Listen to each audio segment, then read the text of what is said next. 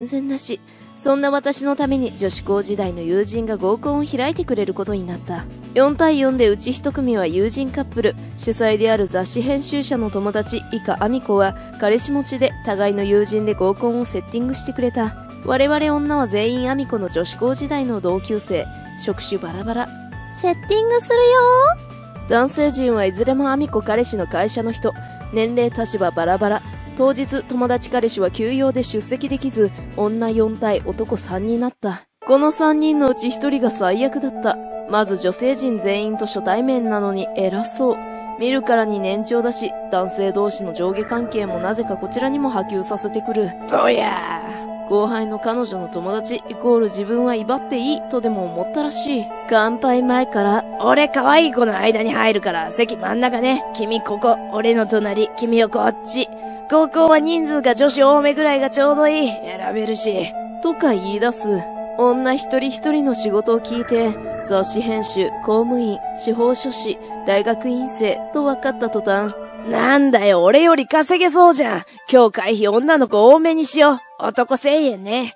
陰性の子には、あ、君の分は払ってあげるよ、社会人として。で、その子にいちいちあれ取ってこれ取って店員呼んで、と命じて、言われる前に気づけよ。これだから学生さんは社会に出て通用しないよ。いらで先が進むにつれ私たち社会人3人には仕事が可愛げない。ブーブー。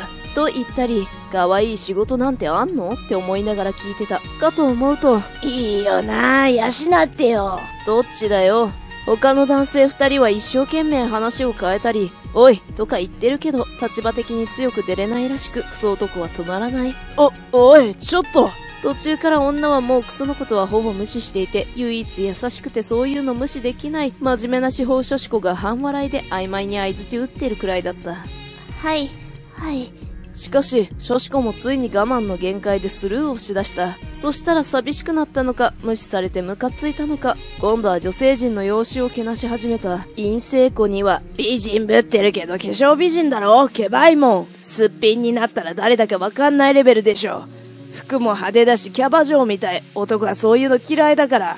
はあ？アミコには、化粧くらいしてこいよ合コンなのに、化粧もしないって俺ら舐めてんのモテる必要なくても礼儀でしょ。場の雰囲気があるじゃん。女はその場を賑やかにしなきゃさ。多分、華やかな間違い。アミコは自分は主催者で彼氏持ちで視界的に参加と思っていたから、化粧も直さず、職場から直行してきてた。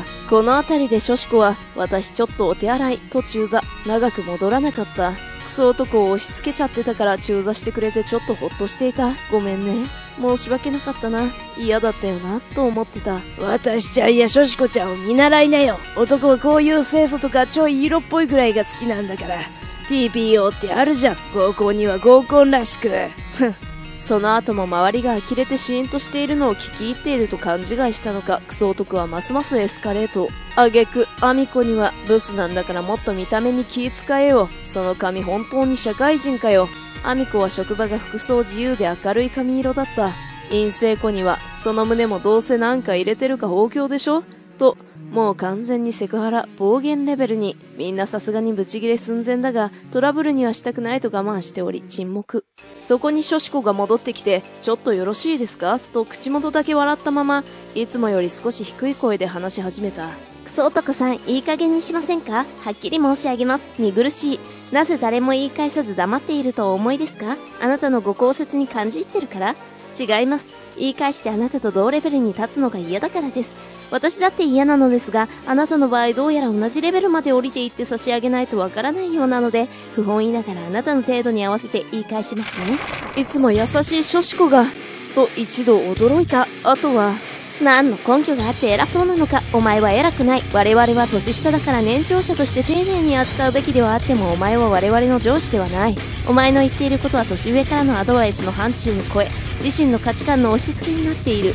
女性蔑視がひどいくせに矛盾している。女のくせにと思うなら女より引いてればよい。弱き者として扱えばよい。己の無力が辛いのを我々に当たって鬱憤を晴らすな。自分も不細工なのに人の見た目のことを言えるのか？また陰性子は誰がどう見ても美人だがその容姿に難癖をつけるのは自身のコンプレックスのためでは？完全セクハラで承認多数だから訴えられたらあなた終わりますよ。録音もしてあります。と今までのことを全て叩いてくれた。ザ正論クソ男は最初びっくりして次に怒鳴って赤くなって最終的に下向いて動かなくなった。泣いてたらしい。クソ男が怒鳴った時とか私は本当に怖くてハラハラしたけどショシコはずっと冷静でクソ男が怒鳴っている間は口閉じてまっすぐクソ男の方を見て黙って聞いてた。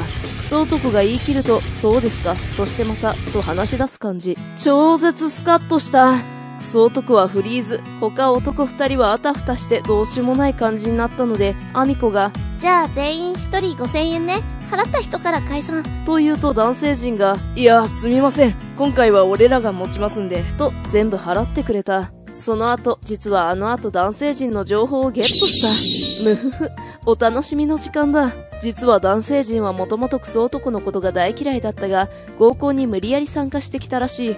なので、ショシコに内心拍手喝采だったそう。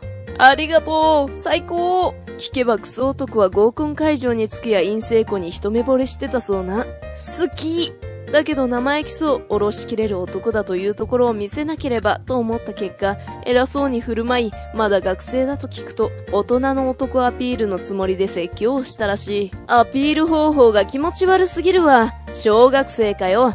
いやー、こんなクソ男もいるもんだな。逆にネタになった。畜生あと、今回の合コンの会計はクソ男に全て払わせたらしい。スカッとした。チャンネル登録よろしくお願いします。チャンネル登録よろしくお願いします。